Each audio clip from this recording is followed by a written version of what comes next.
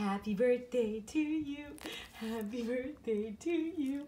Happy birthday, dear bear. Happy birthday to you. Are you five today, Moxy Bear? Are you a big girl? Did we adopt you five years ago? But you were actually born in the rescue, so we know your birthday. Yeah, we do. Your birthday is January 8th, and it's 2020 now, and you were born five years ago. So you do the math. Here's your birthday cookie. Yeah. Mmm. There we go. She already started eating it, and then I thought I better make a YouTube video because everybody will want to know that it's Moxy's fifth birthday. Right, Bear? Go on, you can have the rest of your cookie.